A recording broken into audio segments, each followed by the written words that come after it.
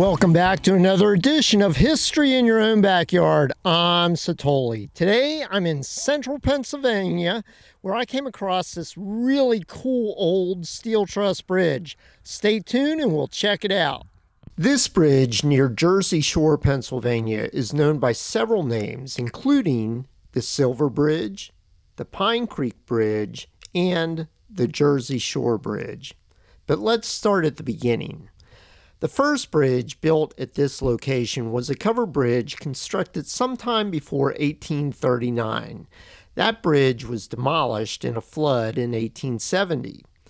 A second cover bridge was constructed that same year at a cost of $12,639.34, which is the equivalent of about $294,371 in 2023. That cover bridge was either damaged to the point that it had to be replaced or it was destroyed by the flood of June 1st, 1889.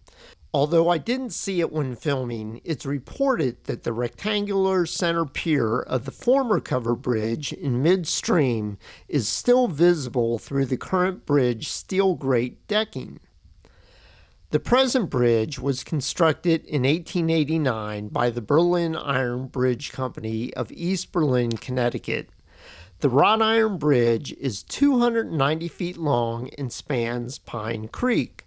This is the longest single span pin connected lenticular Warren through truss bridge in the United States that is still in use.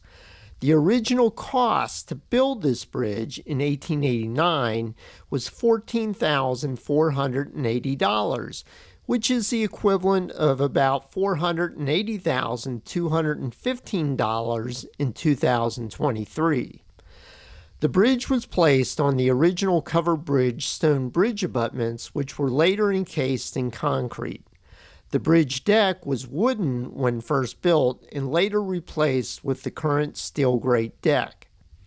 Between 2008 and 2011, the bridge was disassembled and refurbished at a cost of $5.5 million.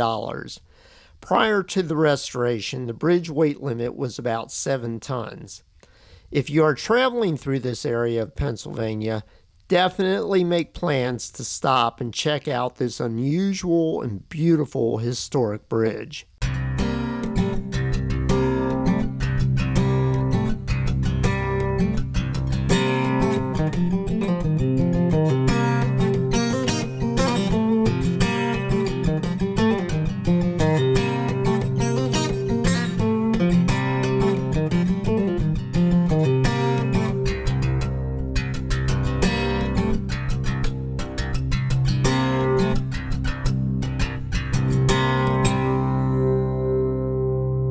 Thanks for watching another edition of History in Your Own Backyard. And remember, travel slowly and stop often.